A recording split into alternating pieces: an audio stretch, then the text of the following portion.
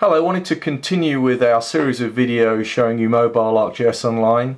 The focus of recent work within uh, WebMap Solutions has been uh, offline editing. So we've done a number of videos showing how to go offline and to actually edit uh, feature layers um, and then updating servers when going back online. One of our most recent additions has been attachments, so the ability to attach uh, an image or a small video um, or audio to a, a, feature. So we've done that online, but we wanted to uh, investigate doing it offline. And it proved to be somewhat of a challenge, but this video is actually a demonstration of offline attachments. So uh, what you're looking at here is a, basically a web map that we've published out to ArcGIS Online. Um, we've got a, we've got some um, some layers being served up from ArcGIS server. Um, and this one is actually hosted, this point feature um, layer is hosted by uh, themselves.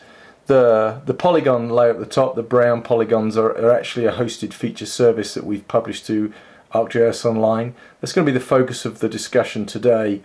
The, uh, the, app, the device you're looking at here is an Android device, but the application actually runs uh, on an iPad as well. So it's iOS and Android cross-platform. What we'll do quickly, and I'm going to run through this reasonably quickly, so just let me tell you what I'm doing. We, we, we built the application with both offline and poor Wi-Fi connecti connectivity in mind, so um, users have the ability to actually set the uh, application to online or offline manually.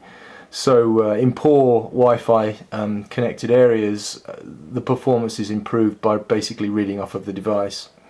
So let's go ahead and just uh, look at the attributes of this particular feature. You can see that there they are, and it says there no attachments. So there are actually no attachments as part of this um, this uh, polygon, uh, this particular polygon feature. Um, let's go ahead then and go offline. So what I'm going to do is I'm actually going to set the device to offline itself. So we'll go into aeroplane mode. Um, and you can see in the bottom corner if, if, it's clear that it's in aeroplane mode. And we'll go ahead and then set the application to um, to load offline. So what it's doing is writing the writing the layers to the device itself and then reading from those layers. And it's done that and there we are. We're now offline. The base maps disappear because we don't have a TPK a license for this particular area but it does load a TPK which is local to the device so let's go into edit mode. We've basically got two editable um, layers and we're going to select the polygon layer. We'll tap the feature. We get a different pop-up which is the editing pop-up. We'll, we'll hit the attachments button and uh, it says in the window attachments only visible when online and that is the case. You'll only see the attachments in this window when you're actually online. So let's just walk through the steps of attaching a file in offline mode. What we've done there is basically loaded a pop-up which uh, allows us to interrogate multimedia files on the device. We're going to look at image files. We're going to select the first one there and we're actually going to submit it. So what's just happened there is, and it gives a message to say it's actually submitted. Whoops! It's actually submitted the um, the uh, image uh, and stored it on the device, ready to be loaded onto the server when we go back online. So let's go ahead and go back online. We'll set the device to online and then we'll set the application to online. So we now have a server connection.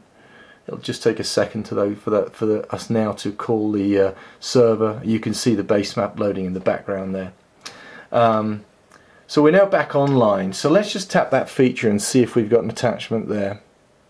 And we don't. There is no attachment. The way we set this application up is manual manual server updates as against auto server updates. So in the edit window on, in online there's a button that says apply offline edit. So that would be any new features, edit the editing of existing features, the deletion of existing features and the update of attachments. So what we're going to do now is manually update the server with that data and we should now be able to tap that feature and there we have the image that was attached. So we've uh, so we so we've got a step by step, and actually it's just a it's just a dummy image.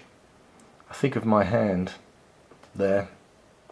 So anyway, a very nice addition to this functional flow that we've got in this application. Not only now is there ability to fulfill workers in this application to go out um, and use the application to edit feature services or feature layers, but they can also attach various multimedia elements, uh, which are obviously a part of these um, these uh, these mobile devices to those features and have those stored on the server. So in real time, those in the office can actually interrogate layers that are being updated dynamically in the field, um, presuming they've got they've done the the updates in online mode and see that data. So uh, a very nice workflow, um, a very functional application. Thanks for watching.